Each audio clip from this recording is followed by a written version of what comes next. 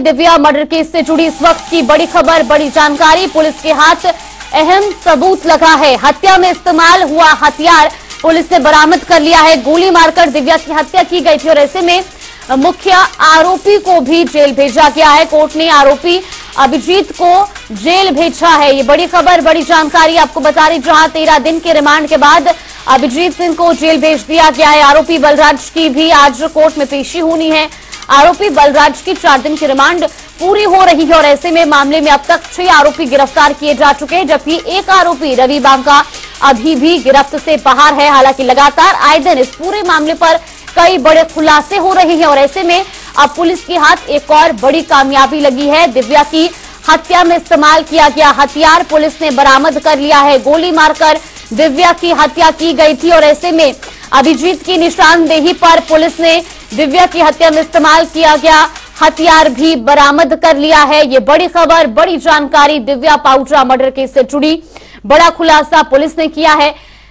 दो जनवरी को दिव्या पाहुजा की हत्या हुई थी। होटल में अभिजीत ने इस पूरी वारदात को अंजाम दिया था। तो वहीं अभिजीत के दोस्तों ने बीएमडब्ल्यू में शव को ठिकाने लगाया था। वहीं शव को ठिकाने लगाने के लिए 10 लाख रुपए भी दिए गए थे। बलराज और रवि बांगा ने शव को ठिकाने लगाया था। हालाँकि इस पूरे मामले में बलराज को गिरफ़्तार कर लिया गया है, लेकिन रवि बांगा अभी भी गिरफ्त से बाहर है। तेरह जनवरी को नहर से दिव्या का शव बरामद हुआ था, लेकिन लगातार कई बड़े खुलासे हर दिन इस पूरे मामले पर। गुरुग्राम से इसी खबर पर ज़्यादा जानकारी के साथ हमारे सहयोगी आकाश खुराना, हमारे साथ जुड़ गए आकाश, लगातार दिव्या पाउड्रा मर्डर केस में आए थे बड़े खुलासे, और अब पुलिस को एक और बड़ी कामयाबी, दिव्या की हत्या में इस्तेमाल हथियार बरामद कर लिया गया है। फ़िलहाल क्या कुछ जानकारी?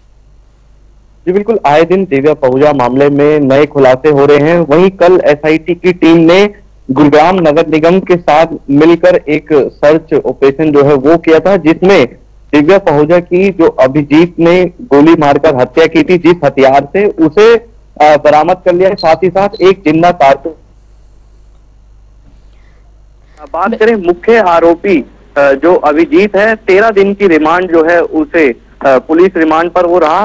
कल उसे कोर्ट में पेश किया गया और वहाँ से उसे बौंसी जेल जो है वो भेज दिया गया। वहीं साथ ही साथ बात करें आरोपी बलराज गिल जो कि दिव्या पाउलर की डेड बॉडी को गुरुग्राम के सिटी पॉइंट होटल से बीएमडब्ल्यू गाड़ी में लेकर गया था रवि पांगा के साथ। हालाँकि रवि पांगा जो आरोपी है, वो फ़िलहाल फरार है, लेकिन आरोपी जो बलराज गिल है, उसको आज कोर्ट में पेश किया जाएगा और कहीं ना कहीं चार दिन की रिमांड जो है पहले बलराज गिल की आज जो है पूरी हो जाएगी। आज एक बार फिर बलराज गिल को कोर्ट में पेश कर क्या देखने वाली बात है, क्या पुलिस रिमांड जो है बलराज गिल का, वो मांगती है या फिर उसे भी बौंसी जेल जो है वो भेज दिया जाएगा। जी बिल्कुल और देखिए जिस तरीके से लगातार एक तरफ़ जहाँ इस पूरे मामले में छह आरोपियों की गिरफ्तारी हो चुकी है लेकिन रवि बांगा अभी भी गिरफ्त से बाहर है।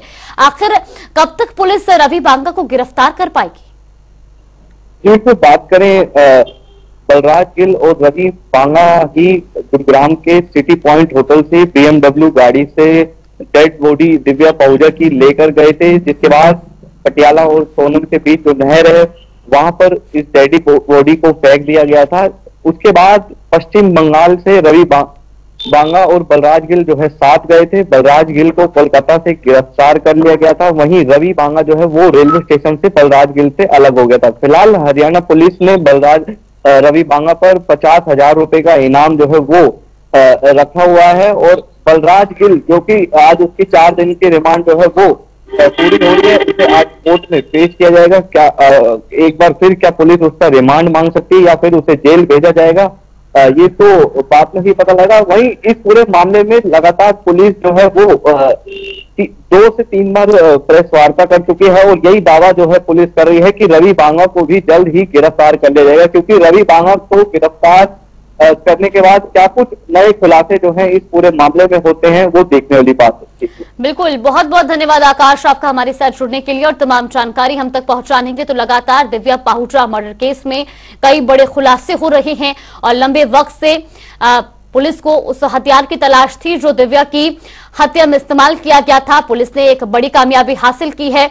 अभिजीत की निशानदेही पर पुलिस ने वो हथियार भी बरामद कर लिया है, जिससे दिव्या की हत्या को अंजाम दिया गया था। हालाँकि इस पूरे मामले पर लगातार पुलिस की पैनी नज़र बनी हुई है और ऐसे में अब तक छह आरोपियों को पुलिस गिरफ़्तार कर चुकी है, जबकि एक आरोपी रवि बांगा अभी भी गिरफ्त से बाहर है।